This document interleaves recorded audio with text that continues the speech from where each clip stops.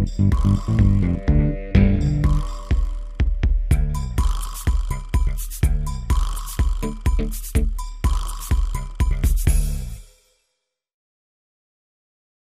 Uh, welcome to uh, Eight Dogs and a Wife video series on starting a successful home-based business. This morning we're going to teach you how to make all-natural soap uh, for many reasons. Some people are looking to uh, just learn a new skill. Others of you might want to start homesteading like we are. We're sitting at base camp here with our eight Maremma puppies. Uh, my name is Brian Cockell, my wife Fonda, and uh, this morning we're going to teach you how to make all natural soap. And uh, other folks might want to get rid of the synthetics that you're slathering all over your body with store-bought soap. Most of it is uh, carcinogens and synthetics and parabens and phthalates and coal tars. Uh, it's really um, not natural at all. And it's uh, detergent, not a soap. So we're going to teach you how to make all natural soap. Shiver. Uh, Shiver. others might be looking to um, here, start a home-based business and uh, start a soap making company or a uh, skincare, all natural skincare company. So this morning's video is going to be teaching you how to make all natural soap. A comprehensive video from start to finish. And by the time we're done, we're going to have ourselves a whole bunch of bars of lavender natural soap. So let's go and make some soap.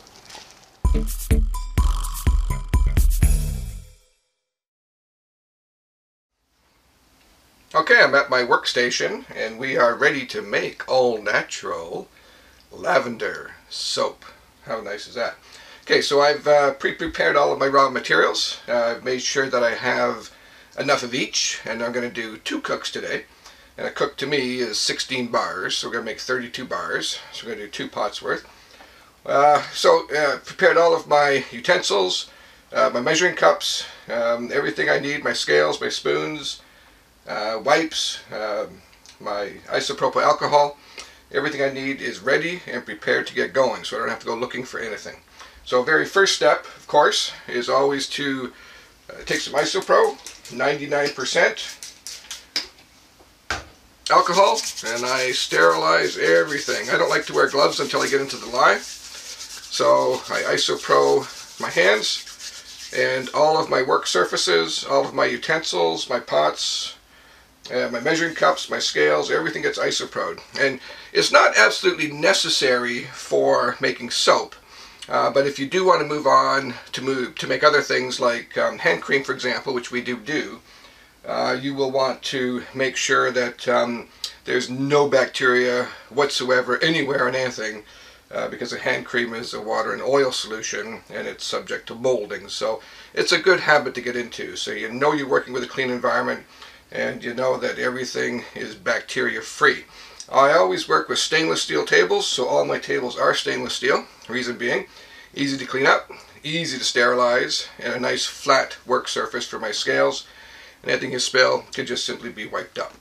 I don't use plastic because plastic gets pitted um, over time and it gets discolored over time and it's hard to clean after uh, you've had a bit of wear and tear on it. And I never use wood because wood, uh, for the same reason, hard to clean, splinters over time, uh, wears out, and you certainly don't want wood splinters in your soap.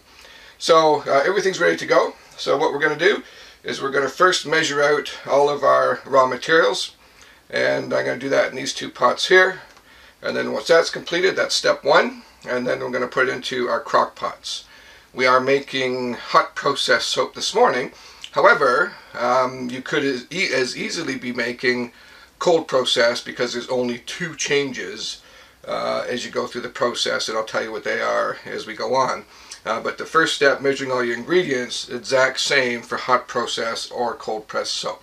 So um, what, I, what I use is I use Pyrex um, glass uh, measuring uh, cups and the reason being I prefer glass uh, because it's easy to clean. I can also see through it at all angles to make sure I have not picked up any contaminants or any flies, for example, if you do happen to have one in the room. Uh, easy to clean, easy to handle. Uh, some people have commented that, you know, use over time, you can get pits when you're putting lye in it, um, uh, uh, micro cracks. I've been using these for over six years now. I probably have over 40 of these in different sizes and I've never noticed that. I've never had a problem. Um, however, I will point that out. Some people do use plastic and that's fine. Um, always use um, a silicone spatula. Uh, you want something that is very flexible like this one here. And that is great for getting every drop of oil out of your measuring cups uh, and your butters uh, because when you're making soap of course uh, you want everything measured to the gram and to be exact. So you don't want to be leaving stuff in your pots uh, wood's too rigid and plastic's too rigid. Uh, my spoons I use stainless steel. I like to use a nice solid spoon because sometimes you're digging out uh, you know hard coconut oil or um, you know hard hard um, cocoa butter or hard avocado butter. You want a nice solid spoon. I also like it with a rounded handle because when you're digging in there uh, this if it isn't round and a nice good grip uh, it will dig into your hands. So for example using a, one like this that's going to hurt your hands pretty quickly. Okay? So when you hold that that that'll start to hurt after a while. So you want to use a nice rounded stainless steel spoon excuse me and of course I use uh, stainless steel as well for uh, my little utensils. Alright, so uh, I have my ISO with me, all my raw materials, I have some tissues uh, and some paper towels ready for cleanup. On my scales I have two types, I'm trying a new one for the last couple weeks. Uh, this is a Taylor scale. On your scale you want to have a sealed unit, so these buttons here are sealed and I can't spill anything into the electronics. Nice glass top, uh, so uh, again easy to clean. I do have, my normal scales are one solid unit. I think I like that better. Again, trying something different. And this one measures to 0.5 of a gram, which is great for your oils and your butters. Uh, I use a little Escali scale. Um, this one is uh, measures to one tenth of a gram, and it's great for things like your essential oil, um, you know, your your kaolin clay, uh, your stearic acid, uh, and your lye, uh, things that you want to make sure you get your measurements right to a tenth of a gram. So this little one measures a tenth to a gram. So um, with that, everything's ready. I'm ready, so I'm going to start mixing materials. Now what I'll do is I'll do a couple, and then uh, just to show you how I work my scale and my cups, and my taring mechanism on my scale, and then I'm going to do um, you know a time lapse uh, to speed up a little bit um, as I go through this. So I do have my recipe ready, and uh, today recipe is Signature Series Lavender Soap. Alright, now if you do want to uh, um, uh, go uh, make your own recipe, uh, I have um, a companion uh, YouTube video on making a recipe to make soaps and how to do that. Um, it's in the link uh, below and you can, if you do want to make your own soap recipes up, I teach you how to do that. Okay, so today we happen to be making a lavender soap. Um, that's uh, uh, we have a base recipe and then we scent it and add some additives. So um, off we go. So we're going to start with our uh, coconut oil. Now because you want to be so specific on your ingredients, I use a highlighter and as I mark, uh, fill up my ingredients into my measuring cups, I do mark them off of my recipe. Okay, so I'll get my coconut oil. So first thing I do is uh, turn my scale on. Now once it's on, place my measuring cup on. And all these little scales, uh, this one is good up to uh, um, 11 pounds or about 5 kilograms. You always want to hit tare. And when I do that, my scale is now reading zero. Alright. Now my first ingredient is 374 grams of coconut oil. So I'm going to go ahead and put that in here.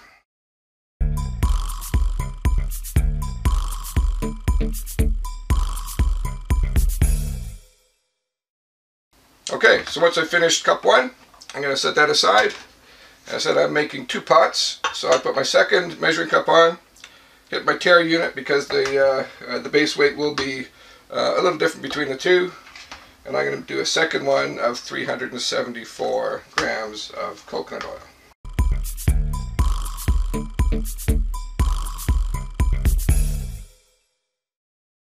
So coconut oil's in, and I always return my ingredients where they belong.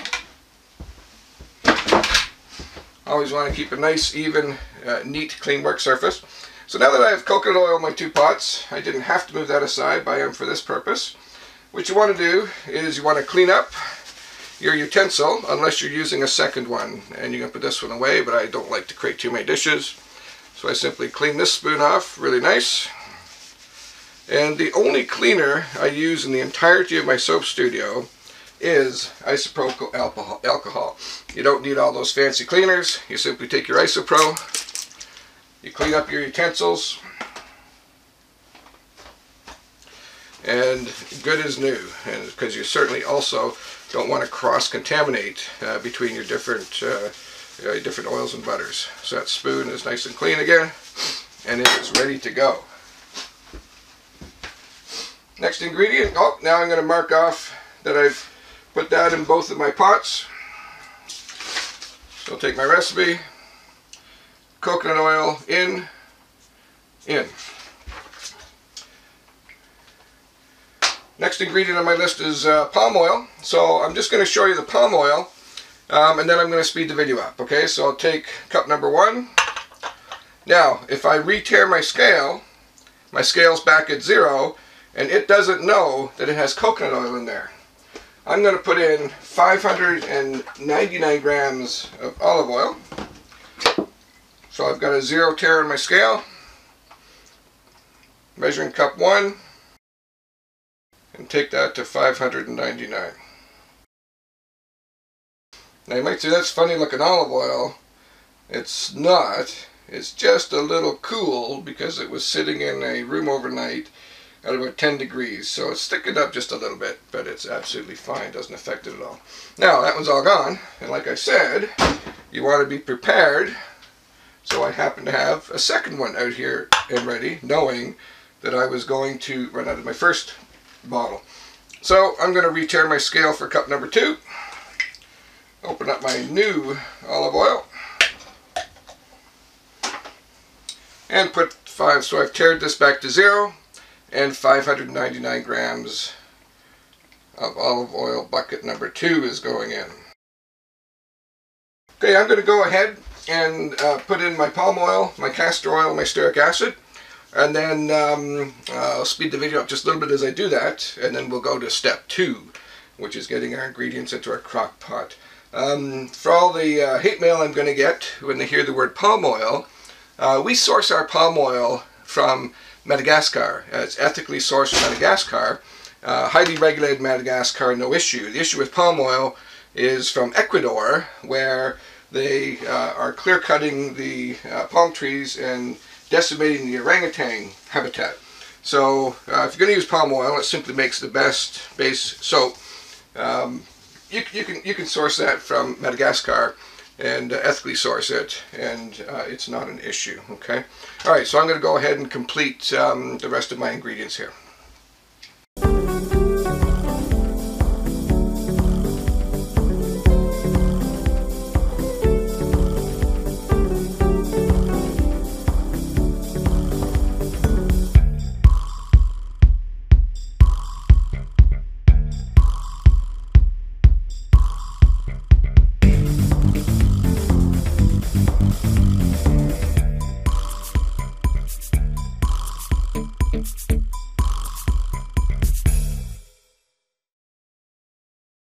Okay, there we go. So we have two measuring cups with two cooks of soap.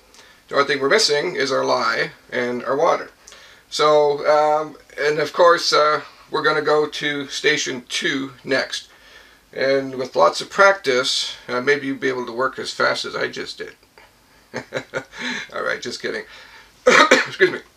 Okay, so what we're going to do is we're going to take these measuring cups, over to our cooking station, which happens to just be behind me. You want everything nice and close and efficient. And we're going to put these in our pots and start to get this oil heated up. So uh, let's go ahead and do that. Okay, I'm at my cooking station. I have my two uh, crock pots set up and uh, ready to go. I have my raw materials over here and ready to go. My spatula ready to empty out my measuring cups.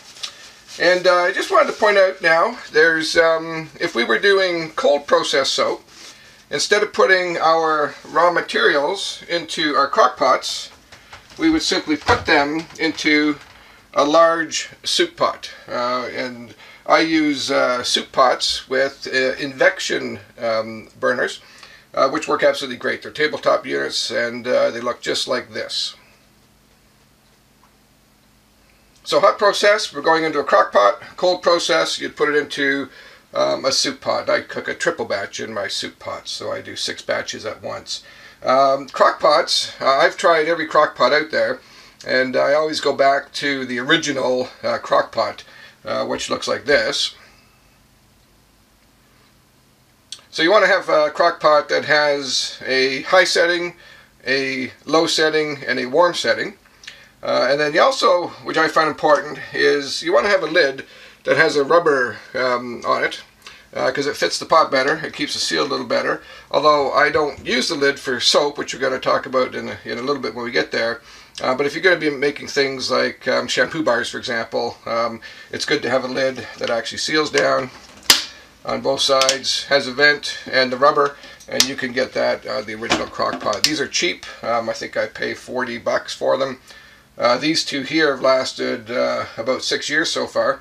Um, I have eight in total, and uh, sometimes you know I'll cook up to eight. But it's um, it's a great little machine. It's all you need. You don't need the fancy ones. So um, a good, uh, just regular standard crock pot. The original model is much better. Uh, people have commented uh, about using all the IsoPro. Doesn't that dry your hands out? No, my hands are soft as a baby's bum. And the reason being is I use Lifegevity Soap Company all natural aloe vera non-greasy hand cream. All right, I couldn't resist. uh, best cream in the known universe and beyond. Just wonderful. Oh, it smells great too. Okay, so what we're going to do is we're going to uh, fill up our pots and turn them on. So at this point, I'd move my lids around. Now you notice after continual use, your crock pots will start to become a little dull and discolored.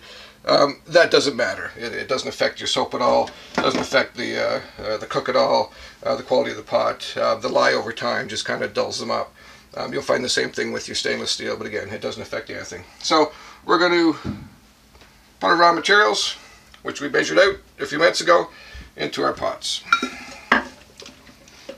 Now what you do want to do is you want to try and get every drop out of here you can, because I said it's important that um, uh, we have enough oil in here to saponify with our lye. Now, I do what's called super fatting, so I add on my recipe about 4% extra oil. So that guarantees all my lye is going to get saponified and it also is great for uh, the moisturizing content of your soap. So um, it's spectacular. I've seen people, uh, soap makers, saponify at 2%, um, sometimes all the way up to 15%, but I find anything over that 4 to 6% uh, gives you, um, your, your soap starts to get a little soft, and you don't want that as well. You want a nice hard bar that's going to last a nice long time, but not too long. If you're going to be selling it for sure. Okay, so there's pot one. Got that nice and clean. Set that aside for cleaning. And you'll notice when I finished the measuring of my ingredients, I cleaned everything up as I go. You want to have your work surface nice and neat, nice and clean, and uh, not stuff all over the place. Perfect, okay. So, now that that's in there, I'm going to set this aside for cleaning, which I'm going to do in a second. I'm just going to distribute this a little evenly in here. Alright, get this one distributed a little evenly.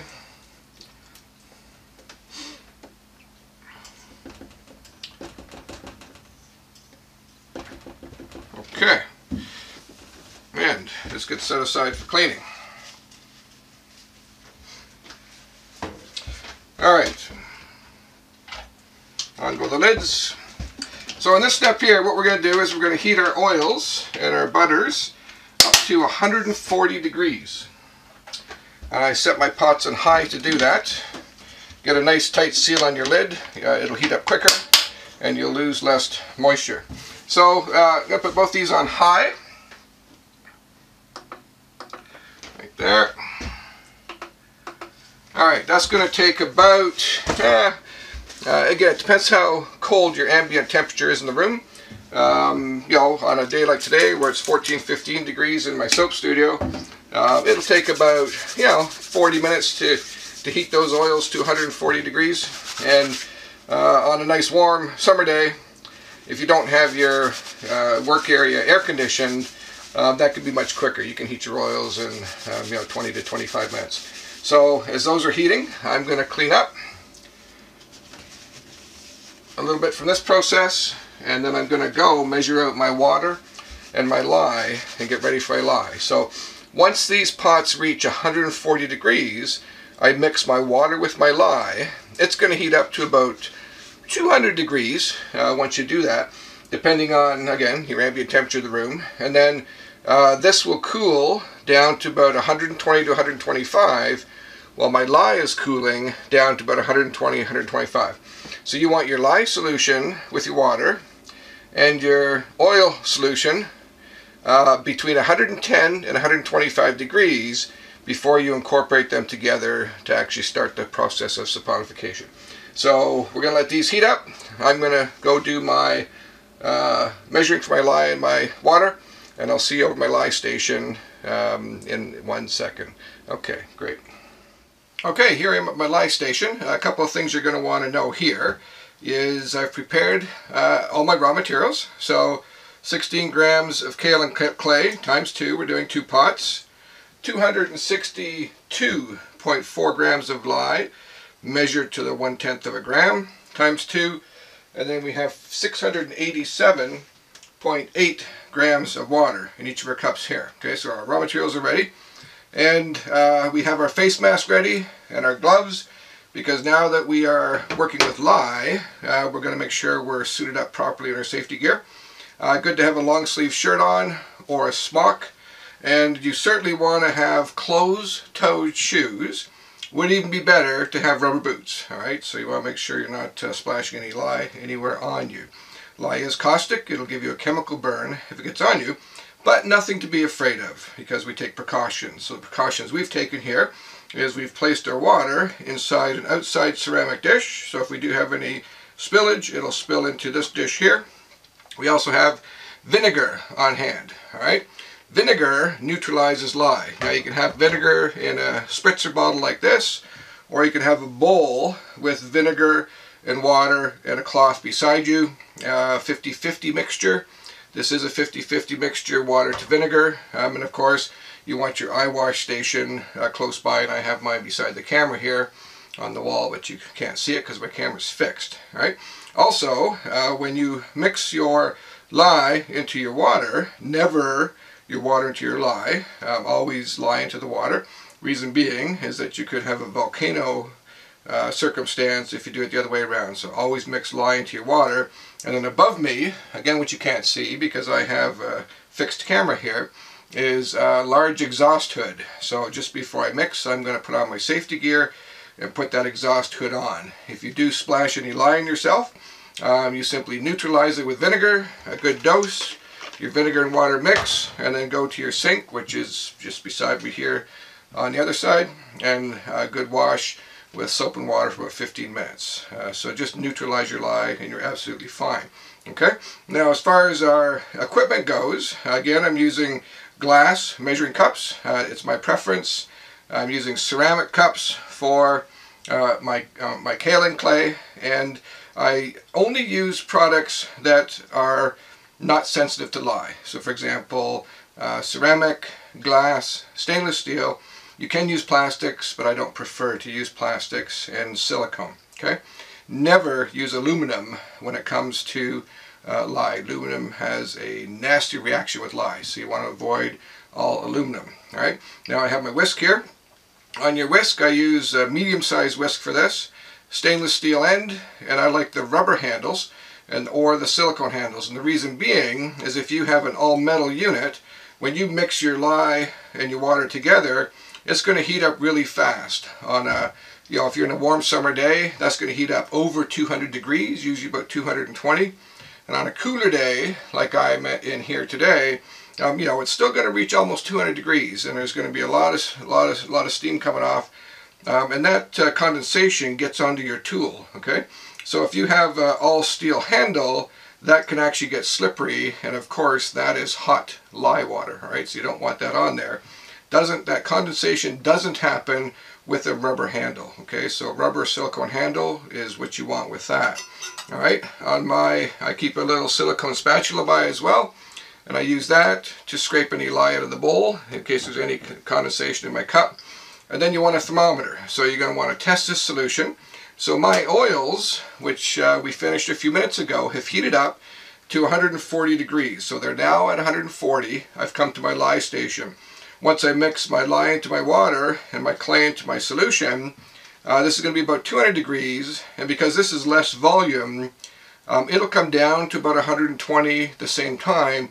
My oils come down to about 120 and kind of trial and error over time. I've got that figured out. So 140 on my oils and the reason I take them to 140 is so all of my stearic acid will uh, dissolve nicely okay? So 140 there at 140 my oils we're going to mix this. It's going to go to about 200 and we're going to let it settle down to um, 120 it could be between 110 to 125. All right. Anything over 125, uh, if you have both of your oils and your lice water solution over 125, that's how you get what's called volcanoing. So when you mix your lye and water into your oils, if it's too hot, that stuff will try to boil up over your pot. Okay, you don't want that. So always keep both of these below 125, between 110 and 125. Now it comes with thermometers, we have two types. This is called a probe thermometer, okay? Uh, I don't use this. Um, I probably use it for hand creams, but for this purpose I prefer um, a different type. But this probe thermometer, if you do use a probe, you want a stainless steel tip, like this one, okay? And a plastic, no aluminums on it, all right? Um, this one here, you'd set in here, and of course set it and watch the temperature, all right? One option. Uh, the reason I don't like this is because you are putting it into your lye solution. You're going to have lye solution on this when you take it off. Uh, you have to clean it, neutralize it. I don't like to go through that. So what I use is what's called a point thermometer. This here's a point thermometer. I happen to get this one from Cole-Parmer, the best I've found. I've gone through many. You can buy you know cheap plastic ones. Um, this one here, it, it's it's you know it's in the seventy dollar range, but it's um, stainless steel. Um, it's solid. Uh, it comes pre-calibrated, and I've been using these things for six years, um, and the same four with no issue. I keep one at each station. They're easy to move around. You can also have what's called a gun thermometer, big ones. Uh, this one here you have to hold about a centimeter from your uh, temperature solution that you're measuring. You can also get gun thermometers. They're pretty big and bulky. They look like a gun. You can point them from about 10 inches away. But again, I like the small ones. They're easy to move around, easy to use, and uh, I find them very convenient. Okay, um, So everything's ready to go. Got our safety gear, got my boots on, my long sleeves, my vinegar, all my raw materials, and all the utensils I'm going to use. So we'll go ahead and start this process. Actually, I'm going to go put my fan on because um, I want this solution to go up and out. So just give me, I'll be back in one sec. Okay, I have my safety gear on. It's going to be a little louder. There is a uh, large exhaust fan over my head that's going to vent this uh, uh, this exhaust and steam out of the room. Excuse me. I have my helmet on. I use a full face shield. I prefer that over goggles. Uh, just a little safer. Uh, it's got my boots, my gloves, my long sleeves, my face mask. I'm ready to go. Um, I'm going to put uh, my lye in first, mix that up nice. You'll see it go milky white and then turn cream and then turn to uh, a clear. Once that's done, I'm going to put my clay in. And uh, the reason I use kaolin clay is natural soap will sometimes, especially if you're a hairy guy, uh, has a tendency to stick. Uh, the kaolin clay gives it lots of slip and glide um, and makes a real nice soap. It also draws some toxins out of the skin. So it's a great additive for your all natural um, soap. Okay, so here we go with the process.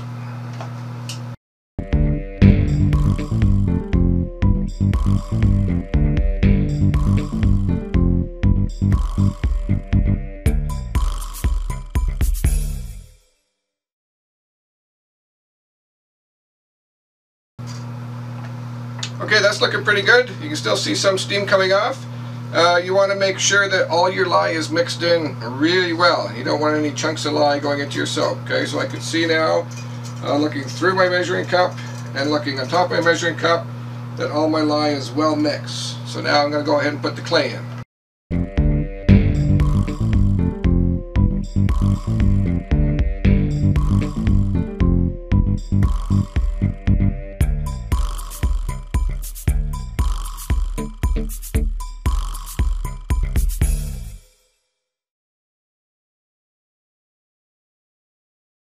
Okay, my clay's mixed in and uh, it's ready to go over to our oils and uh, cool down to uh, 110 to 125 degrees and we're going to leave our whisk in our clay uh, lye water solution because the clay will settle to the bottom.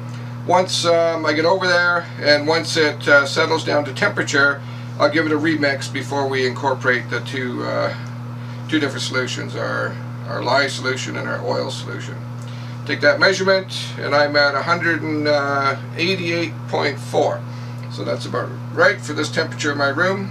Take my temperature. I'm at 187.6 okay? When you do use a probe thermometer you want to stick it in hold it let it go before let the button go before you pull it away or else you'll get a wrong reading okay and my water was at room temperature when I started. Okay, so I'm going to move this over to uh, my oil station and then we're going to uh, make some soap. So I'll see you in one second. Okay, here we. Here we are back at our cooking station. So I've uh, taken the temperature of my oils and they are now 117, which is perfect. 122, which is perfect. And just make sure our lye is the same way.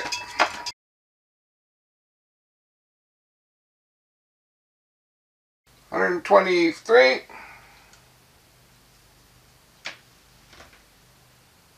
Hundred and twenty-five one. So perfect.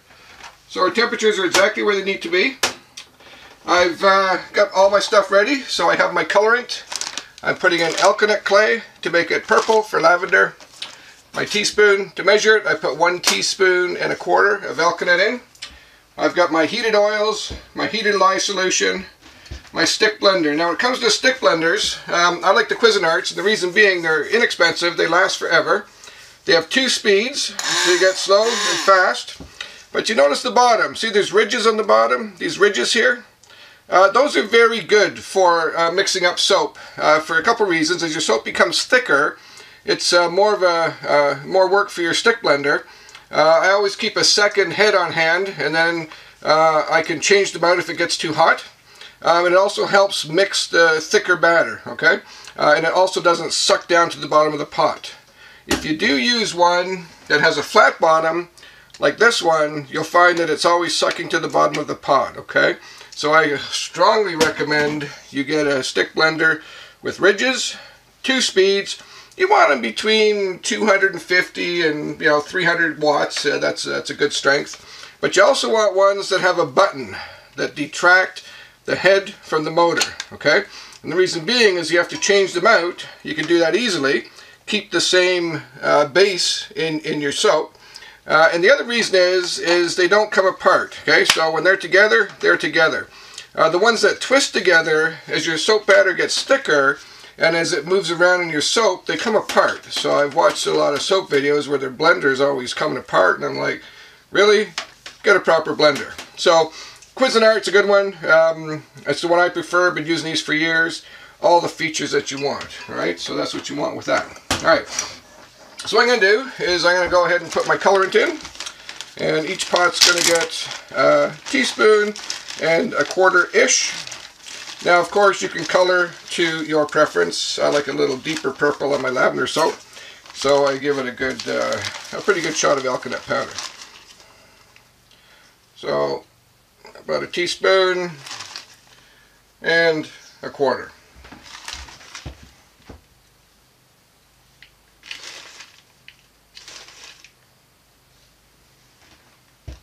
Okay, set that aside.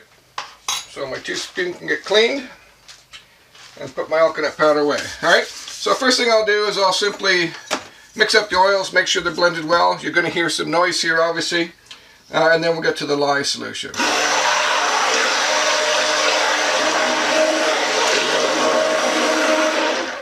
I'll bring this just a little closer. Hopefully you can see it a little better. It's a little dark.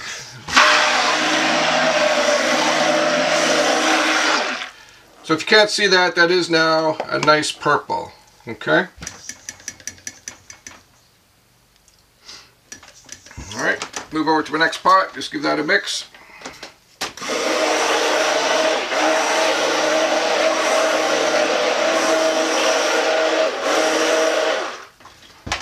Okay, good to go.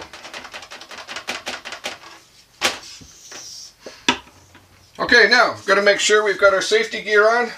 So I've got my my uh, rubber gloves on here. I've got my boots on, I've got my helmet, my long sleeves, and I'm going to take this to trace. Now, when you mix your lye with your oils, uh, you want to pour it on your stick blender here so you don't get any splashing. That works out fine. You always want to keep your stick blender in the pot uh, when you have it running so you're not splashing uh, lye all over the place. You want to have your vinegar solution ready in case you do uh, spill anything, right? And then your eye wash station, of course, okay? So when I mix this lye in, uh, uh, using a stick blender, it'll go to what's called trace in about two minutes, uh, up to five minutes, depending on how hot your oils are. Okay. Um, if you uh, so what's happening when you're taking it to trace? You're you're mixing your oils, your butters, and your lye water solution together. It's going through a process called saponification, and that's actually making soap. And what's happening is all of your uh, oils are fatty acids and plant matter. And a fatty acid is one molecule, picture um, a capital E. It's one molecule of glycerin bound by three molecules of fatty acid. Okay, uh, those can your fatty acids can be stearic acid, palmitic acid. I mean, all the different types of acids. Each fatty acid imparts a different characteristic to your soap, and you can learn about that if you want to watch the uh, recipe making tutorial. You can find that down below. Um, when it goes through saponification, what happens is those fatty acids, that three-chain molecule, the glycerin separates from the fatty acids and it goes through saponification is a technical term but what it's really doing is it's becoming a crystallized salt right so it's a crystallized salt. It is it as it goes through the saponification process it consumes the lye and what you're left with is crystallized salts of your fatty acids and glycerin. And as we cook you'll see that glycerin separate out. We'll mix that back in uh, to make a real nice bar of soap. So that's kind of what's happening as we go through this. Now let's go ahead and take this to trace. There's three levels of trace, light trace, medium trace, and heavy trace.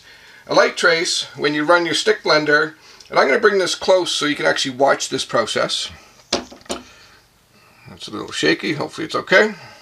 So if you draw your stick blender up like this, a light trace, uh, it'll just settle right back down in.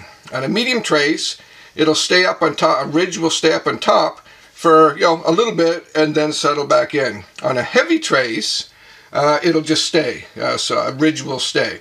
So we're looking for that ridge to stay. A couple reasons why I like to take the heavy trace on hot process is because um, I'm putting clay in here and clay, and I've already mixed this back up again, but separates down to the bottom when you mix it with your water and lye. You don't want that same thing happening in your soap. So the thicker, when you go to a thick trace, it holds those clay particles in within the soap without it settling back down to the bottom of the soap. So it's nice to go to a thick trace. If we were doing a cold process soap, you would simply be mixing this oil, your oils, with your lye in a pot rather than a crock pot. Okay, so we're going to go ahead and bring this these two pots to thick trace. It's going to get a little noisy.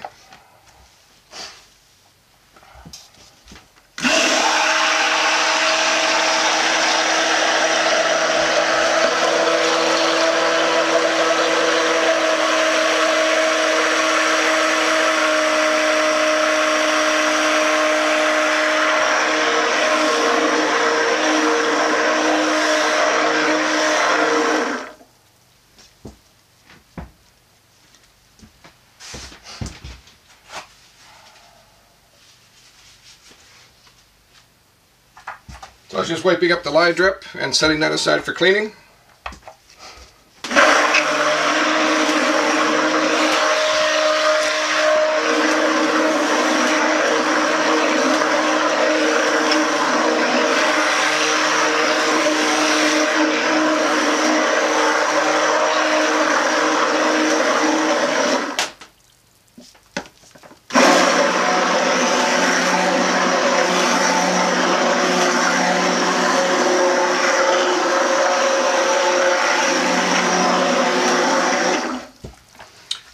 Now you'll soap's looking a little gray in color. So what happens is when you mix your alkanet powder with the water lye solution, it turns it gray. What'll happen as it goes through the saponification process and as it cooks, uh, it's going to turn that back into a purple, okay? All right.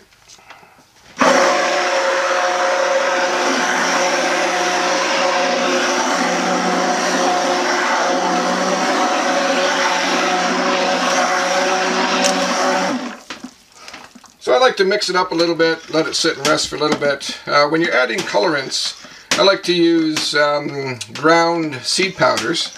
Uh, they're the easiest to mix in. Um, you know, they give you a, a, fairly vibrant color. So I use alkanet for purple. I use madder root powder for pink. I'll use annatto ground annatto seed. Uh, a little bit will give you yellow. A lot will give you um, a nice bright orange.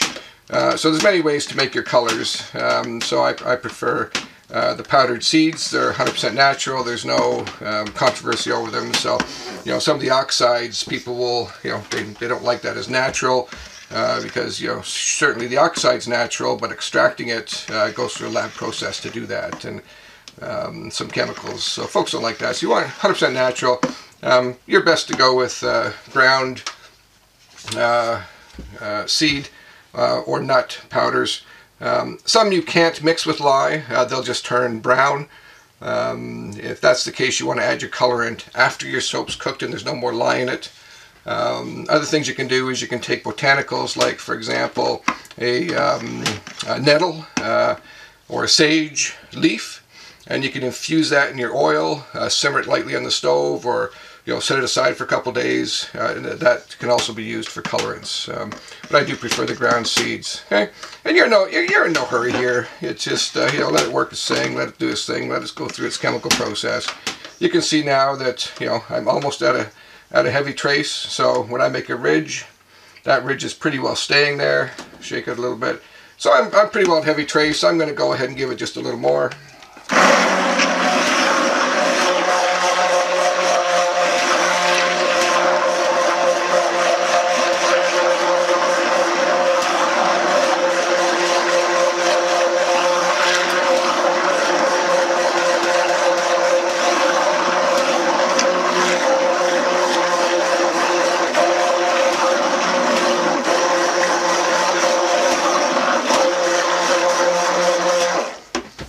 So you definitely want to make sure that you take it to the to, to good trace. You see when I put that ridge up there, it just stays there.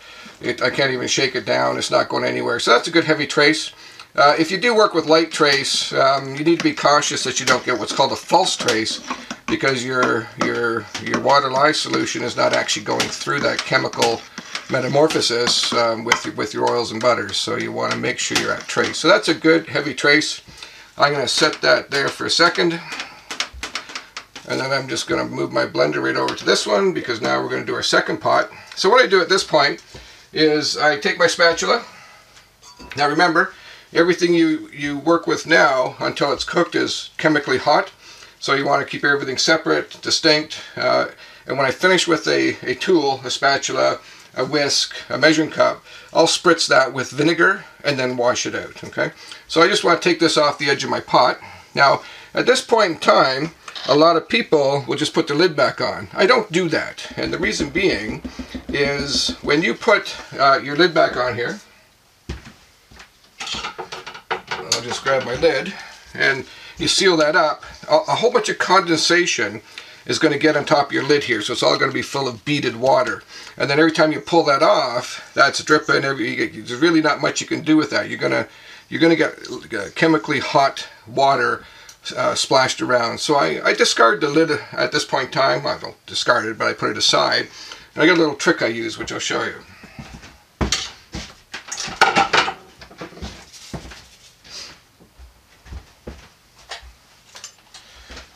So what I like to use is plastic wrap, uh, and it works great. So I take some plastic wrap, and I put that over the top of the pot like this, and what that does is that keeps the heat in. I pull it tight, make sure it's on there really good. Alright, so it doesn't build as much condensation for some reason, I think because it's thinner. Uh, and uh, you can see your soap, you can see what's happening with your soap. It, it will build some. Uh, I give that a little bit of a pressure relief, so I put three holes in it. So you are going to get, if you make those holes too big, you can just put plastic over it, it's fine. And that way, it gets a little bit of uh, steam release. Now, that's going to sit there and cook for one hour.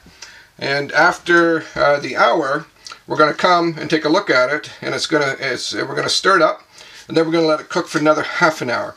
Uh, some people will let their soap cook for the whole period until it's done.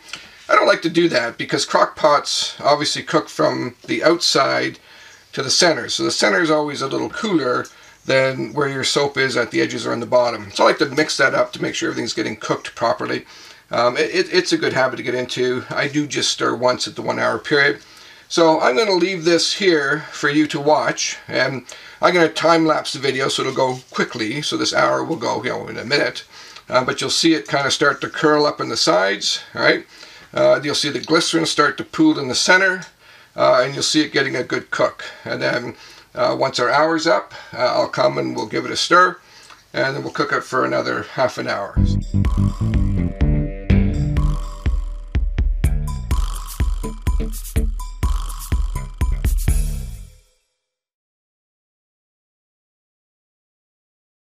Okay, I'm back. Um, at this point, our soap is cooked for one hour. I can see you've had a nice rolling of the soap over to the center. I don't know if you can see that in the camera or not. A little hard through the plastic. Um, I'm going to take this off in a second. Uh, no longer need our gloves because this soap is no longer chemically hot to burn you. Uh, so it won't burn you at this point. Uh, almost completely saponified. Uh, you can see, well, I'll take this off now.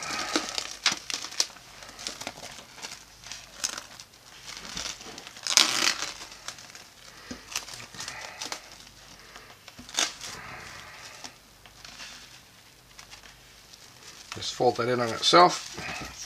Nice and neat. So I'm, I'm, I'm not sure if you can see this or not. Actually, go through my spoons first. So I'm back to silicone spoons. Uh, I'm going to stir with the silicone spoon. Now there's two types of silicone spoons you can use. Um, this one here has no ridge down it and it's quite flexible. Okay. Um, this soap is going to be thicker now and tougher to stir. So now I move to a silicone spoon that actually has a, a ridge and this is um, a piece of metal inside this spoon. Okay, so now this one is extremely more, it's more rigid than this this one here. Okay, so uh, I, I moved to a more rigid spoon for this process. Now you should be able to see in the center here, this here, that's our glycerin that's separated. So we, we told you it's going through a process of saponification. So the glycerin is separating from the fatty acids, and that's what all this liquid is in the center. Uh, what we're going to do is we're going to mix all that liquid back in. So we're going to give this a quick stir. Uh, it's been one hour. Uh, during that hour, I've cleaned up my work surface, cleaned all my utensils and measuring cups and spoons and everything else. And I'm completely ready and clean now for the next steps. So next step is to simply stir this. Going to put some plastic wrap back on it, let it cook for another half an hour, and it's going to be done and we'll test that when that half an hour goes by. Um, I won't continue uh, rolling the video uh, once we get this uh, stirred up and, and ready to go again. Uh, this pot's quite hot. You see that nice purple coming up there now. so you probably want to have a oven mitt. I use these little ones, don't like the big ones. So I just hold my pot, then I can stir the center into the outsides, and the outsides into the center, so I'm going to give a real good stir in this. I'm keeping the camera close just so you can see the process. So I stir that in good. And I scrape my sides down just to make sure everything's moving into the center. Of that, the hot stuff into the center. Okay. So now, I've got a nice deep purple. And this purple will lighten as it cools once we get to that phase there. Okay, so that soap is now nicely stirred and it is ready for another half an hour cook. So we'll get our plastic wrap.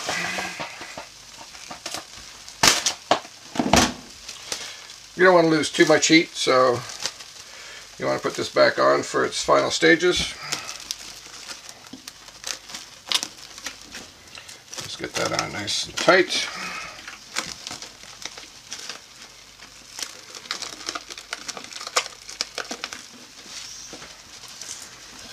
Okay, that is good. Give it some holes.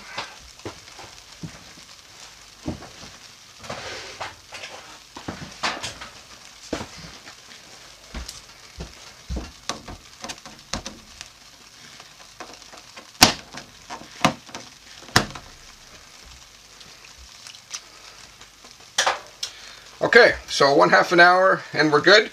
Um, I'm going to turn the video off at this point in time, stir my second pot, and uh, next frame we'll be back to take our soap off the pot. And uh, then we're going to look at getting our uh, molds ready and we'll go through that process. Okay, see you in a second. Okay, so our soap has finished cooking. It cooked for an hour and then a half an hour after a stir at an hour. So pots are behind me. I don't know if you can see them, but pot one, pot two. Uh, so after one and a half hours, I've removed them from the crock pot. Don't forget to turn your crock pot off. And now they're going to cool. I'm going to let them cool between 140 and 145 degrees. And right now they're about 180. And the reason being is you want to put your essential oils in when it's cooled down so you don't burn that oil off or damage any of their therapeutic properties. So while that's cooling, we're going to get our dies ready. Um, so uh, you can buy dies on Amazon, you can buy them from soap making supply companies. I didn't like anything you could buy, so um, I made my own. So what I have is basically two side pieces with grooves I cut in, and then holes to put them together, a bottom piece, and two end pieces. So five pieces. Then I have seven 6 inch long by 5 sixteenths um, lag bolts, right? And that's it. And um, I, if you look down in the um, uh, below the video, uh, in in uh, uh the text below there, uh, if you open that up or expand it, you'll find um, a link to the dimensions of these molds I've made here. Uh, but really great molds. They're breakaway molds. This is the first time I've had them apart in you know, it's been uh, six years. Uh, this is what a mold actually looks like, right? So nice and solid, sturdy, uh, yet you can get your soap out very easily. And that's the problem most people have is getting their soap out. So I'll just assemble this die. So I simply sit, sit, set these two guys up here. Move this bottom aside for now. And this won't take very long at all.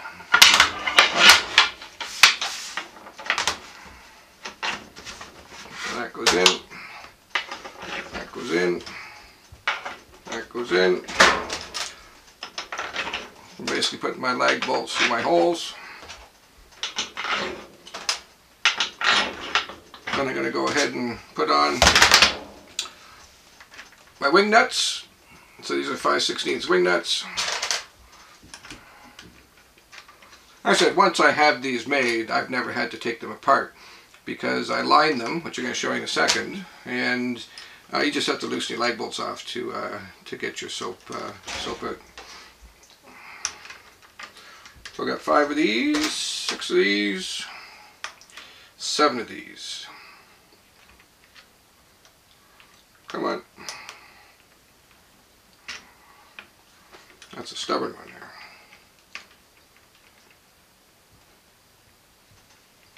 Okay.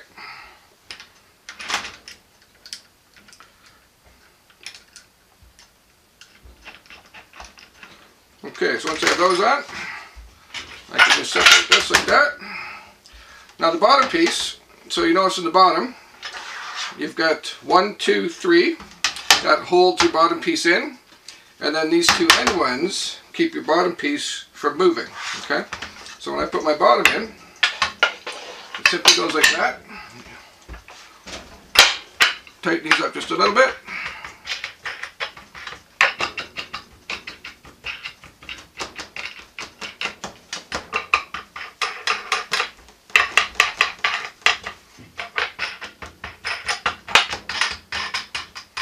perfect.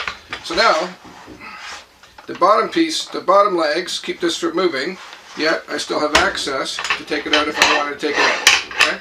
And then these side pieces, I've cut grooves into each side. Know if you can see those.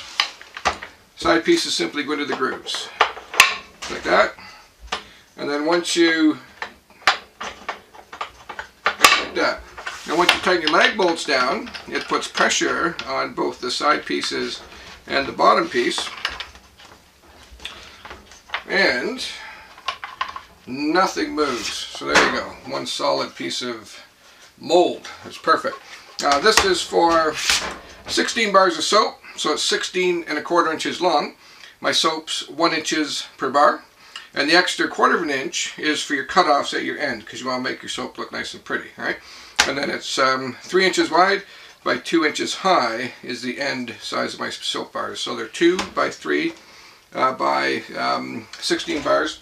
I end up getting 18 bars because with my cutoffs, I rebatch those into a couple um, uh, a couple more bars. So here's my second mold because we've done two batches. So just make sure my wing nuts are, wing nuts are tight, which they are. And I'm going to line it. Okay. What I do to line it is I use freezer paper. And I've cut two pieces for the end. Freezer paper is matte on one side, glossy on the other side. And I use painter's tape. Okay. So what I do is I simply fold a little quick fold here. I put it in the edge of the die and I fold it over. Take a piece of painter's tape and tape it in.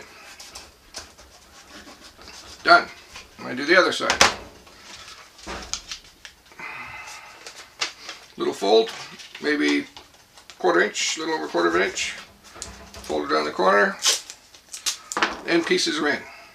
The reason I do this is because I've used a composite material here and I actually cut it out with a um, um, a desktop three-dimensional milling machine, but you can make this out of wood. Uh, but you want to line them because when I line them, I simply pull my paper out with my soap in it, and, and I've cut little squares that'll fit on the bottom and both sides.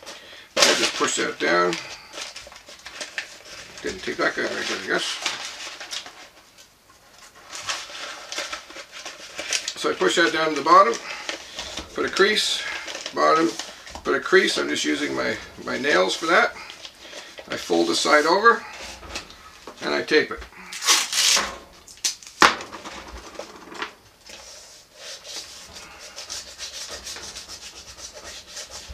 Okay.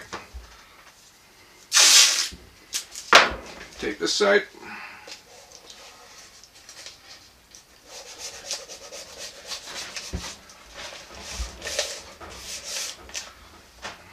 going to give that a clean. So I'm having, tape's having a little trouble sticking, which means I just need a clean. There we go.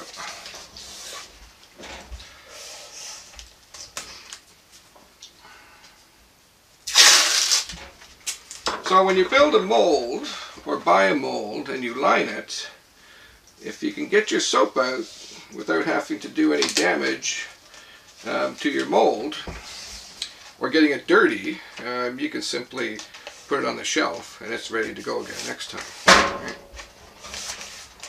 Okay. This guy down a little better.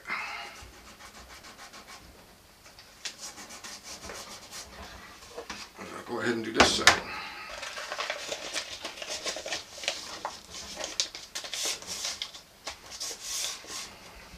And I usually like to get my molds ready while my soap is cooling just before I add my essential oils.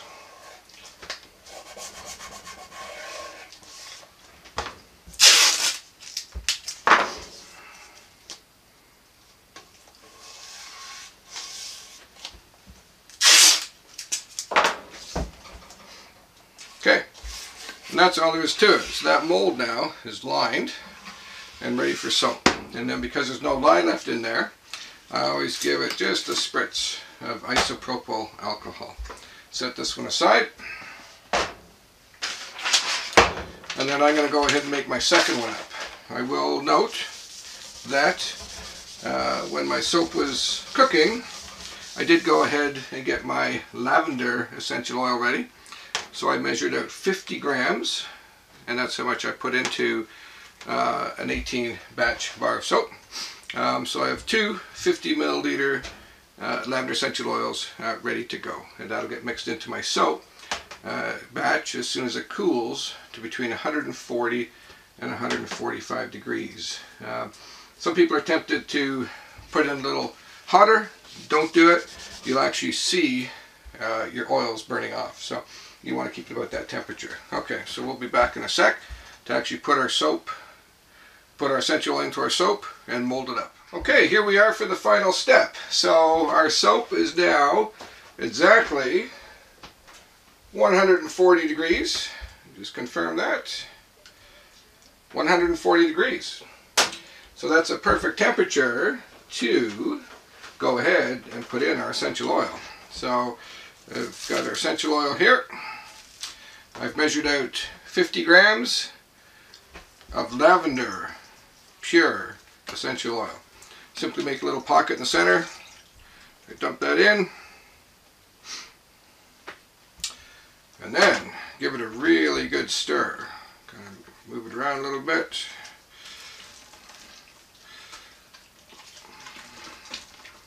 You're going to see some steam come off here, but that's okay. Okay, so I do use 50 grams, and I do know I lose a little bit in this process. So it uh, probably ends up with about 47, 48 grams by the time you're done. So mix that up really good. And then you've got one beautiful, my goodness that smells wonderful. Oh, can't wait for a shower. okay, so after that's mixed up really good, you'll see I've got a nice deep purple color here now. And that's going to lighten up as it cools. So now I simply scrape my sides best I can. Make sure my spoon's clean. Now cold, uh, hot process soap is a little more rustic than cold process. Um, you know, it's uh, it's like mashed potatoes is what this should look like, albeit purple mashed potatoes. I'm just going to start molding it. So what I do is I put a layer in, and then I slam it. And what that does is that gets all the bubbles out, uh, and your soap is nice, uh, nice solid bars, what you want. Uh, if I was doing cold process soap, at this point, uh, once I brought my soap to trace in its pot, I would have simply dumped it in the mold uh, right now instead of cooking it and then set it aside for five to six weeks to go through that saponification process on its own nice and slow. Um, uh, both have their advantages so I like the hot process method better for the reason being is that uh, you're not um, damaging your essential oils at all. So they're not heating up past that 140 degrees that this soap is. I'm going to turn the video down just for a second. This is noisy.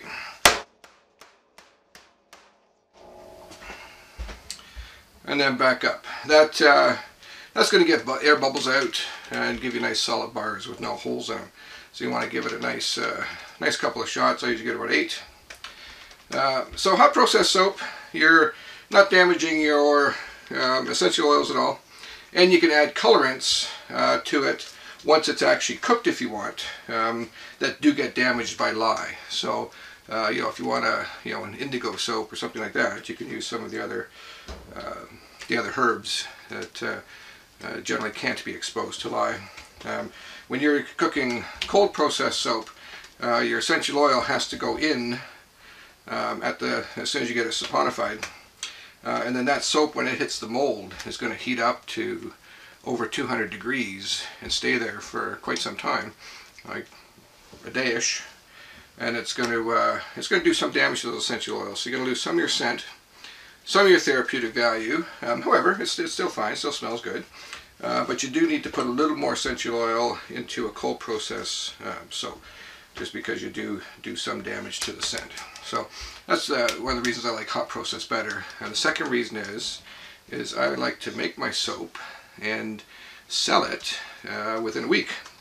Whereas on a, a batch of uh, cold process soap, you're at least five to six weeks before your soap can hit the market. So, you know, if your business is growing, you're going crazy, having trouble keeping up, uh, you certainly don't want to be waiting uh, six plus weeks to um, get yourself to market. Uh, once I get this phase done, okay, volume down again.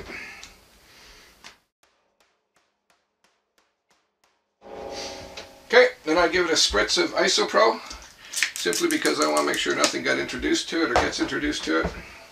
If you're doing cold process soap, you definitely want to spritz it because Isopro inhibits soda ash, which you do get in cold process soap uh, when it's curing. I put some of my plastic wrap over it. Got it. Pack her down into that mold again. Since I like nice dense bars. Alright, and there we go. We have one mold. 18 bars will be of lavender all natural soap. okay, I'm going to go ahead and do my second mold quickly. Now, a couple things you want to keep in mind when you are making soap. You certainly don't want any children or pets in the vicinity of your soap making. Uh, the reason being, of course, is you have uh, caustic soda or lye. Um, it's also called pearl ash. Uh, you don't want that stuff, uh, although it's safe if handled properly, uh, you don't want that stuff anywhere near uh, your kids um, or your pets. So that's important. Um, the other important thing to know is that any utensils or crock pots or blenders stick blenders, measuring cups, it doesn't matter what it is, that you use for your soap making process should um, be dedicated now to soap. Uh, you don't want to put, put that stuff back in your kitchen. So never use any of your kitchen utensils um, to make soap. And reason for that is because you're dealing with lye. Uh, you don't want to make the mistake of not having something cleaned and then going ahead and putting food in that and then ingesting lye because that's not going to go well for you or anybody that uh, that that partakes in that. So you want to be really cautious. Um, uh, responsible, I guess, would be the right word when you make it soap. So uh, you are dealing with some uh, some caustic chemicals, and you do want those things to not be contaminating anything else uh, uh, that you're getting involved in. Um, if you did like our video today, um, it'd be absolutely great if you could subscribe to our channel and uh, you do that just by looking below and there's a little subscribe button. You can uh, click that. Uh, really appreciate it if you do that for us. That helps me out make more content. Uh, there's also a like and share button. If you do like it, maybe hit that thumbs up. And uh, if you don't like it, well, just don't hit anything. and then there's also a little bell there. And that little bell will, uh, once you subscribe, give you notifications of future videos that I do uh, produce. So right now, if you look at the bottom of the, uh, uh, of the video, you'll see some companion videos to this one. So, uh, for example, uh, you know, uh, a blueprint for the mold, um, uh, a couple other videos which we talked about through today's soap making process. but I'm also going to be producing a couple of videos in the near future, and if you hit that subscribe and notification button, you'll you'll know when they come out. But uh, I'm going to make a video on making um, uh, deodorant. We also do uh, all natural deodorant at Lifegevity Soap Company. And uh, volume down for a second. And we make uh, shampoo bars. We're going to teach you how to do that, uh, which is one of our best-selling products today. we make lip balms. I'm going to show you how to do that on a video. And Hand cream. We make the nicest hand cream in the known universe, non-greasy, aloe-based hand cream, which is just phenomenal. And I'll teach you how to make that. And then we do uh, linen spray. Teach you how to do some linen sprays. And basically we're going to run through our whole catalog and teach you how to make the stuff we make. Uh, this video is the companion video to our book that I wrote, which is called So You Want to Be a Soap Maker.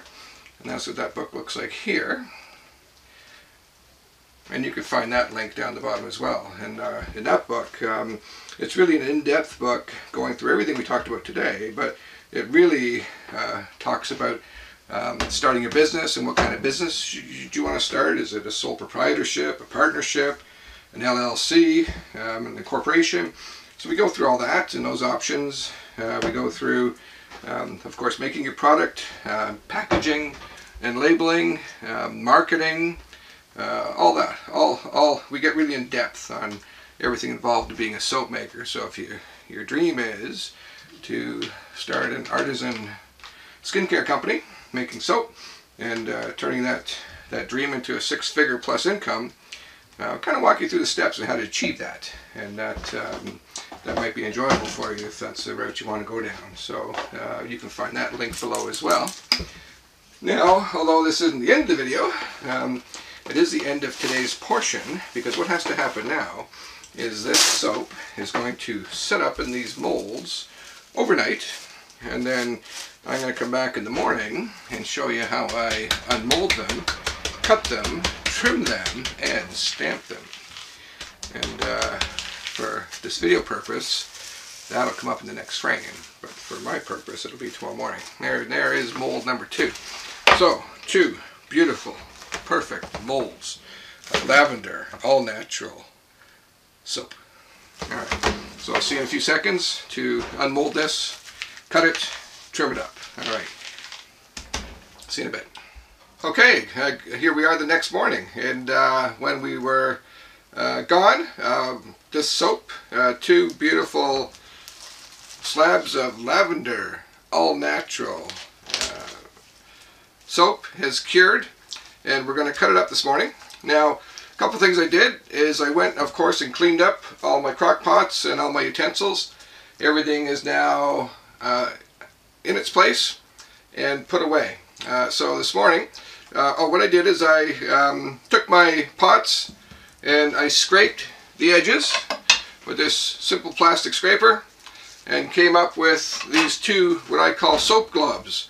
So this is from the edges of the pot, still Mmm, smells wonderful. It's perfect soap. Because we're cooking hot process, this soap is ready to use right now. I could go up to my shower, take a bar, and have a nice lavender shower. So uh, it's ready to go. If this was hot process, uh, these molds, or sorry, if it was cold process, we would be setting these molds aside for about five, six weeks to cure. As it goes, slowly goes through the saponification process, then we cut it. So one of the differences between hot and cold is cold, you got about six weeks before you can use it or sell it. Hot, I could sell this tomorrow. Now I do cut it and set it aside for about a week. Uh, so a little bit of water will still cure out of it to about 8 to 10%. So I cut it a little big on weight to allow that curing to happen. And I sell my bars at 125 grams each. So I cut them about 135 to 140 grams. And a week from now they'll be about my 125. Now these soap globs, a couple things you can do with them. Uh, what we did with them, either take them up to shower.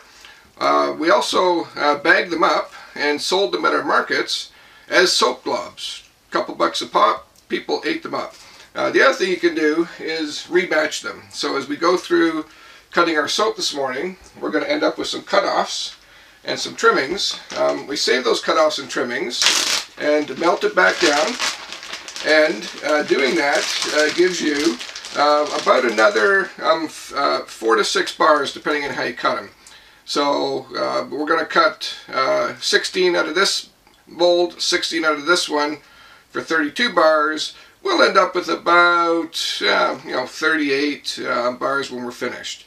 throw our, um, our soap globs in. it's about a 40 bar cook in total. So I'm going to save these and we're going to rebatch those. Um, how we rebatch is after we collect all our cuttings, I simply put them in a freezer bag, and then I seal that up and take the air out. I microwave it for about 40 seconds. Uh, it makes it nice and soft again, and then I mold it in this mold I made. So this simply goes in the counter, and the hot soap gets pushed into these molds with my plastic spatula. And this is uh, one inch by three inches by two inches so when I fill this up with soap for my rebatching, um, I get perfect size bars. And I do sell my bars one inch wide by three inches by two inches. So a little mold I made just out of HDPE, uh, which is plastic, and one inch um, tubing. So that works great for rebatching. Uh, waste not, want not. So uh, if I get another, you know, say eight bars out of here, you know, I sell my soap for uh, six bucks a bar uh, seven bucks for goat's milk, eight bucks for organic, another 50 to 60 bucks just out of doing your rebatching. So you want to do that for sure. Okay. Uh, when I um, cut my soap and trim it, I put it in one of these little trays here. Uh, these are stackable trays. I can stack them as tall as I am.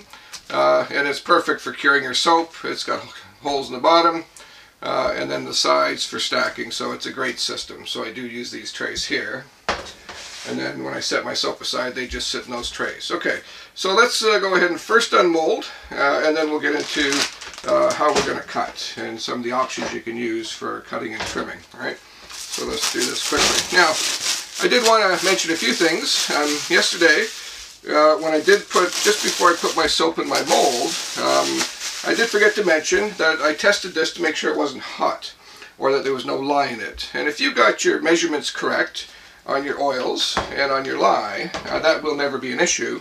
Uh, but if you made a mistake or you had a bad scale because of batteries or it's out of calibration, um, you do want to test it. And how I test it is I take a little wee um, bit of soap out of the pot just before um, I take it off the heat and I smear that on a paper towel and then I put uh, two drops of phenethylamine, and I don't quite know how to spell that, so I'll put the name up here with a bottle. Um, and this tests for um, how, how much uh, alkaline is in your soap. So uh, if you have um, you know bright pink when you do that, um, it's lye heavy. Um, if you have a light pink, it's usually around you know 10.5 to 11. Um, and if you have uh, no color whatsoever. You know your soap has been cured. It doesn't tell you exactly what your pH is, uh, but it gives you a range. So um, if you have no color whatsoever, no pink whatsoever, you're in a range of about 8 to 9.5, which is perfect for all natural soap. So you do always want to test each batch. Okay. Um, so all right. So let's. Uh, oh, when you're at this point, you always want to wear your gloves because your customers, I'm sure, don't want you pawing their soap. Okay, so we're going to work on finished bars now. So to mold this, I simply give my uh, wing nuts a little untwist and then bring my tape up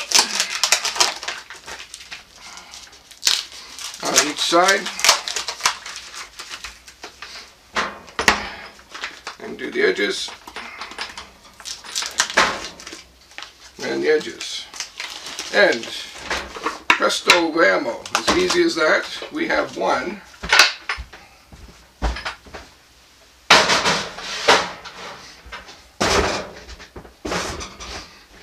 One beautiful slab of lavender, all natural, wonderful smelling soap.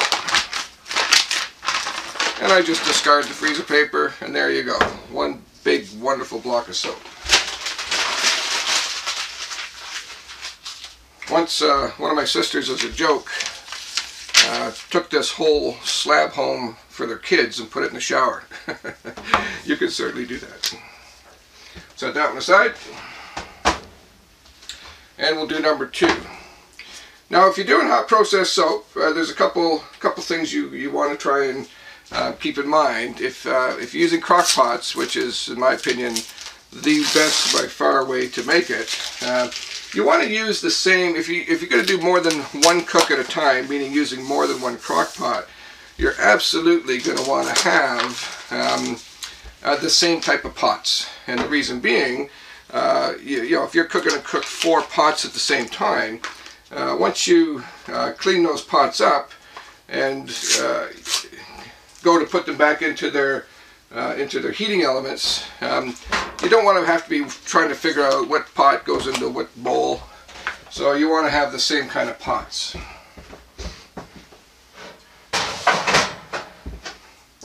And that just makes your life easier when it comes to cleanup. Um, you also want to make sure that anything that touched lye uh, or um, uh, maybe had some lye spray on it, you want to make sure that you use your vinegar solution to neutralize that lye uh, before you wash it up as well. And that's, uh, that's going to keep you from getting any chemical burns or anybody else in the area. Okay, second beautiful bar of all natural lavender soap. Ooh, that smells so wonderful. Alright, gonna set that aside. Okay, now when it comes to cutting this soap, you have a couple options. Um, the cheapest, easiest um, option is to cut it by hand, simply using, uh, this is um, a large six inch putty knife, right? So you can certainly take your block, and I cut my soap one inch, so my bars are three inches by two inches by one inch. You know, you can certainly kind of put a ruler on there and push just straight through. Uh, you know, that's the cheapest, easiest way to cut soap. But if, you, if you're making a lot of soap, that's going to take a heck of a long time to do. Uh, your other option is to uh, use a miter box, and it's a, a miter box is a wooden box or plastic box with holes in it people use to saw 45 and angles and stuff. You can put it in a miter box and then run this down those holes to cut your soap. That's an option. You can also get one-off bar cutters, uh, which are wire cutters. I'll show you a picture of those here. Excuse me. Bar cutters uh, work better, um, easier, a nice clean cut. However, cutting one bar at a time, uh, that could become tedious as well and take quite some time. What I, uh, my preference is to use a wire cutter um, that'll cut the whole loaf at the same time. And I'll show you what that cutter looks like now.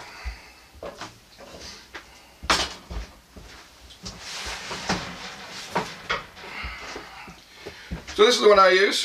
So what this is, is uh, plastic base, metal. Um, this has wires on it here. Comes down like this.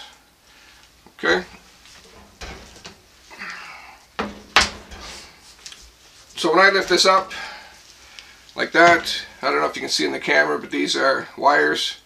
Um, I just use uh, guitar strings as replacement wires. Okay. There's grooves in this plastic. So the wires go right through, okay? And it's and the reason I made the mold size uh, the size I did is because it fits my bar of soap. Alright, so what I do is I put my slab of soap in there and I let it overhang a little bit on each side. Okay, these are the cutoffs. Okay, and then simply push it down. And you just want to keep a nice even pressure on it and that's going to cut that soap evenly and it's going to look absolutely spectacular. So when I bring that down, these are my cutoffs. I put them into my rebatching bag. They're going to get made into new soap. And then here's my 16 bars of 1 inch soap. So when I pull that off, there you go. A nice pretty bar of lavender soap. Okay? And then I'm going to trim up all these edges and make it look real pretty. Now some um, uh, novelty soap makers will leave these ridges on, okay? Um, square them up a bit and package them like that.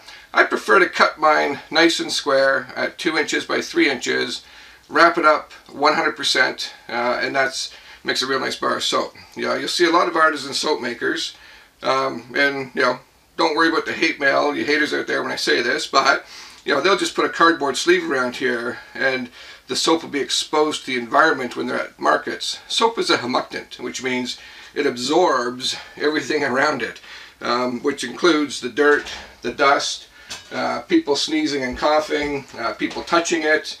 Um, no thank you. So um, I always make sure my soap is uh, completely wrapped up. And if you want to see, um, I'm not going to, once we get this cut and trimmed today, I'm not going to wrap it because I'm going to let it cure for a week. Uh, I will put a video link in the bottom as well, uh, down below, uh, of my packaging process. So if you do want to see that, um, once you're finished here today, uh, go ahead and click that link. And then uh, I do just give my wires a little clean, just to get any extra pieces of soap off there so I'm not transferring that to my second bars, because you want them to look nice and clean and professional. So I'll give those wires a little clean. That's done. And now I'm going to cut my second loaf.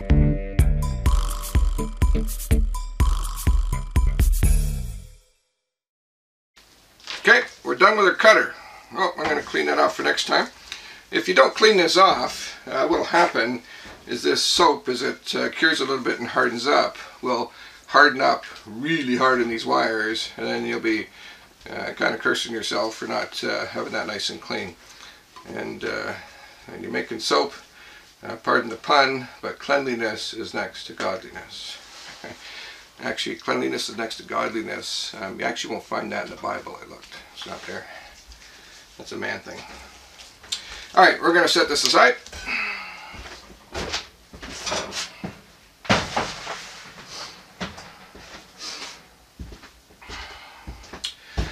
Okay, now you have all these wonderful, beautiful uh, lavender soap bars.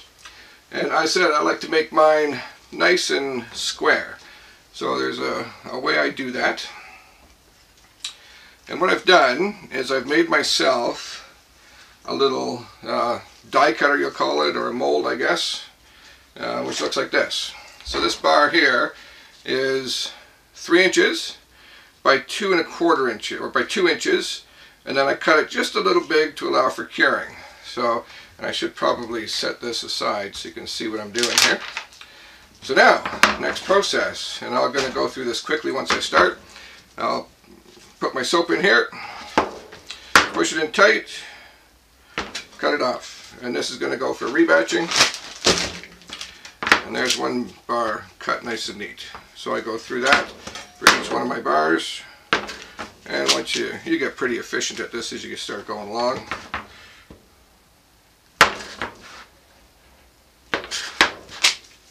Something like that. So for all 32 bars, I'm just going to give them a quick trim. And now they are 2 by 3. Or 3 in just a little bit. So I'll uh, uh, speed this process up as I go through this.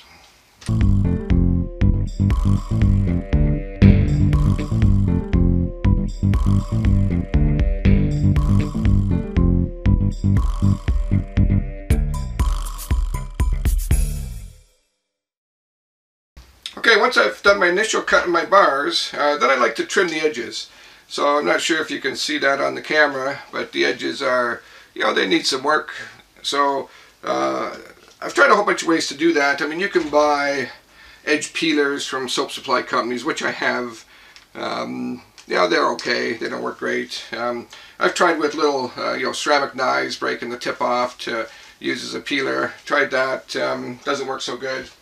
Uh, I tried carrot, carrot peelers, and uh, you can buy a whole bunch of carrot peelers, and that's what I do use. Um, uh, you don't want to buy ones that have non-fixed cutting heads on them. Okay, that's just a pain. You can't get it even. Um, you don't want ones with heads that rotate. They're simply no good. So don't use that if you're going to trim your soap. All right. What's absolutely best and simple, costs a couple bucks, is an old-fashioned carrot peeler. I like to use one with the rubber handle around. It's more comfortable, but a fixed head, okay? So soap's not going to get jammed up behind it. Uh, easy to clean, uh, very simple, all right? So then what I simply do is I simply trim all the edges of my soap to make it look nice and pretty. And you get real good at this after a while. So I just trim up the edges like this, all four corners, flip it around, and do these four edges, all right?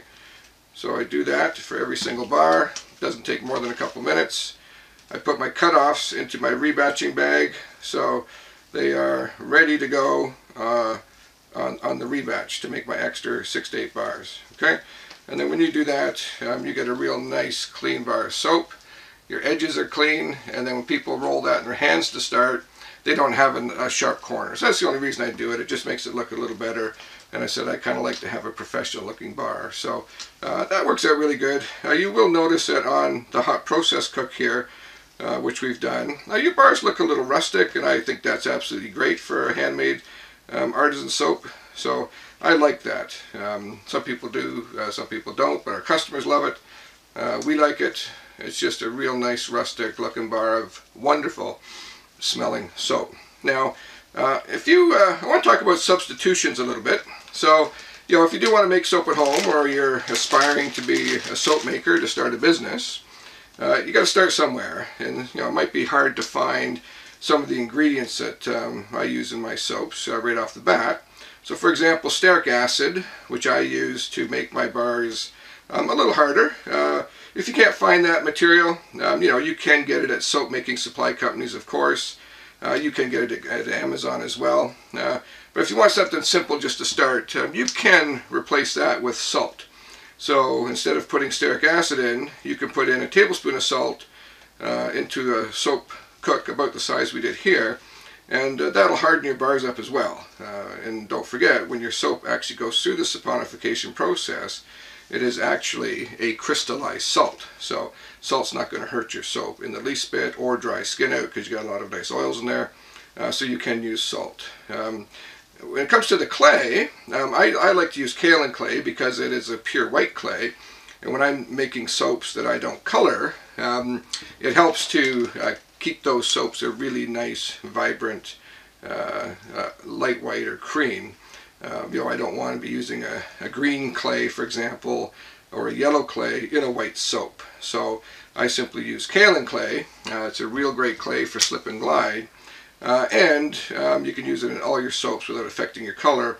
And soaps that you do color, well, it doesn't affect those because it's white. So um, it's absolutely fine. Um, if you don't have kaolin clay or can't find it, and you happen to live in an area that has uh, clay in the ground, you can just take a, a couple couple tablespoons uh, right out of the backyard and melt that into your soap pot, and that'll work just as well, believe it or not.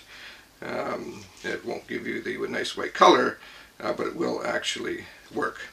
If I wanted to turn this lavender soap into, let's say, um, uh, a Ylang Ylang soap, um, I would have simply made two substitutions. Oh, and I did want to mention stearic acid. Um, if you do happen to replace that with um, salt, uh, you have to run the recipe through a soap calculator again because st uh, stearic acid is actually part of the saponification process. So you would change uh, your ratio of oils to lye. So you would absolutely have to run it through a soap calculator uh, without having um, that stearic acid in there. Um, and if you do want to, as Stig mentioned earlier, but if you do want to uh, actually go and uh, play with some recipes yourself, um, I do have a video link uh, down below that teaches you how to do that. Uh, so if you want to make or design your own soap or make different size batches of soap, um, go ahead and check that video link out and you will be able to design and make your own soap. Now if I wanted to change this soap, uh, and this is my base recipe, I have uh, two main base recipes, this one and then a premium one which I replaced the palm oil uh, with um, some shea butter and, and, different butters and oils. Um, uh, but this, this here, uh, my base recipe, if I wanted to change this into, say, a Ylang Ylang soap, I would have simply have substituted the um, alkanet clay with um, root. Um, oh, sorry, the alkanet powder uh, with root powder, which would have turned this soap pink instead of purple, a real nice light pink. Um, and I would have substituted my lavender essential oil with um, Ylang Ylang essential oil and then uh, you don't have to change uh, your recipe at all because those are simply additives. They don't affect the saponification process. And this would have been a pretty uh, nice smelling Ylang Ylang soap. If you wanted to make a spearmint soap, for example, I would have replaced my alkanet powder with a kelp powder uh, and a bit of sage powder and simply scented it with uh, spearmint essential oil instead of uh, lavender essential oil and that would have given me a nice, um, you know, light green uh, bar of soap that smells like spearmint, which is just an absolutely spectacular soap. So um, this is a base recipe. You can play around with that and you can come up with as many combinations of color and scent as you want at the base recipe and you then you can make the same recipe uh, with a few alterations to give you, you know, 6, 8, 10, 12 different scented bars of soap. So I'm going to go ahead and finish this process and then we'll be back for the very last step.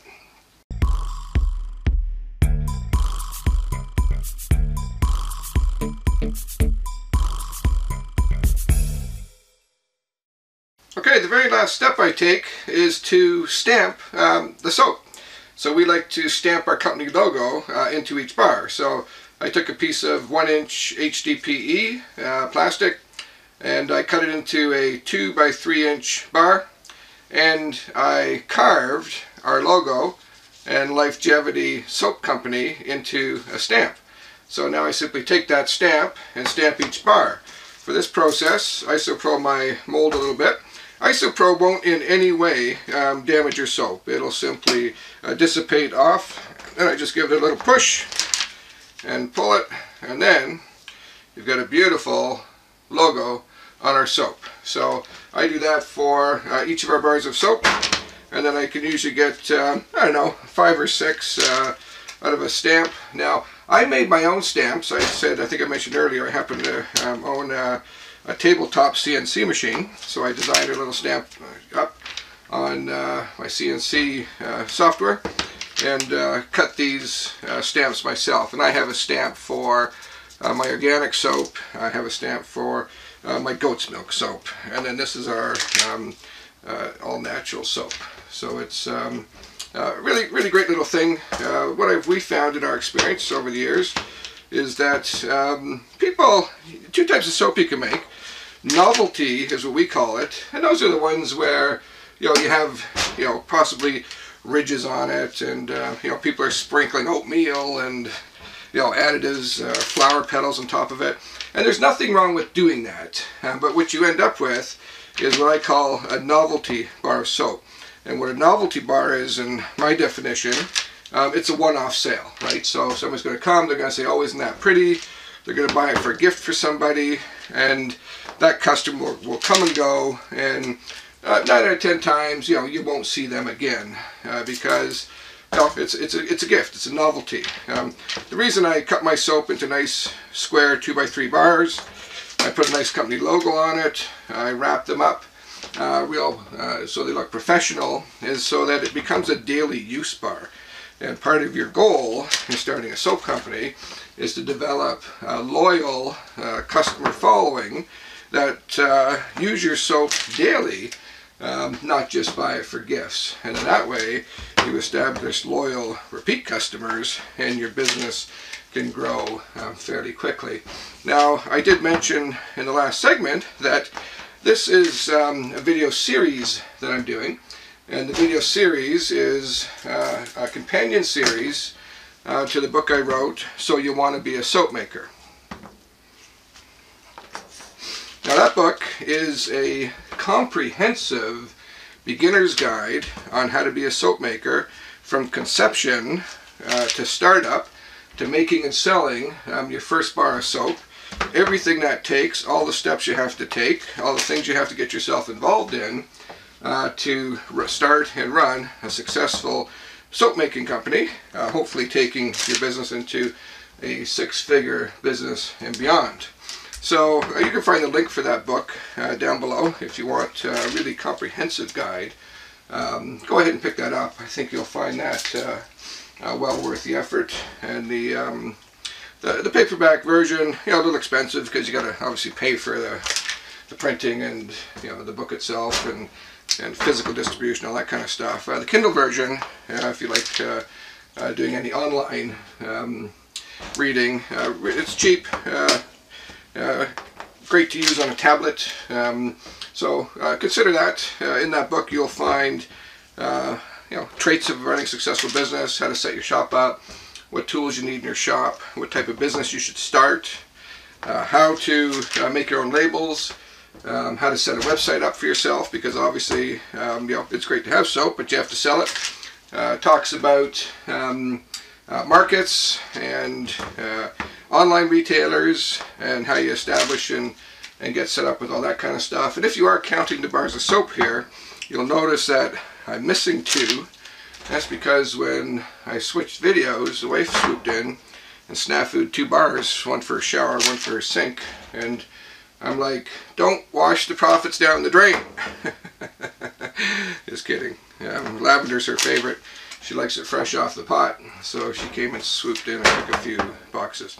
So the other um, thing you're going to find here is uh, some links down below. I did mention that as well. So you can find some companion videos which are going to absolutely spectacular which are going to uh, you find a video down there on how to make a website for yourself as well uh, how to make a label for yourself from scratch um, how if you want to see the next process here um, this video is now finished but if you want to see the next process in actually labeling this soap uh, there's a companion video down there as well so go ahead and uh, and click on that link if you'd like uh, so a uh, number of companion videos and uh, all information on how to be a successful soap maker. So there we go. We've got now only 34 bar, 32, 30 bars of lavender, um, all natural uh, soap, which is just absolutely wonderful. That smells great. So I'm going to set this aside in my curing room. It'll cure for seven days. Then I'm going to wrap it up. So thank you so much for spending uh, your time with me for this video. Uh, please subscribe. Uh, please hit that like, uh, the thumbs up. Uh, please share it. Uh, and if you want to help um, Soap Maker out and you did enjoy the video, um, do those things.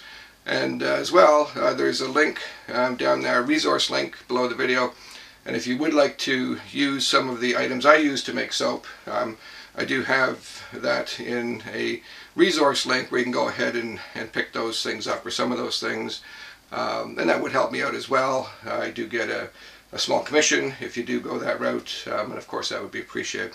So thank you so much for spending your time with me today, and uh, uh, more videos to follow, how to make cream, lip balm, deodorant, linen sprays, and shampoo bars, and much more. So subscribe, and hit that little bell as well, and you'll get notification when I do release those videos. Have a great day.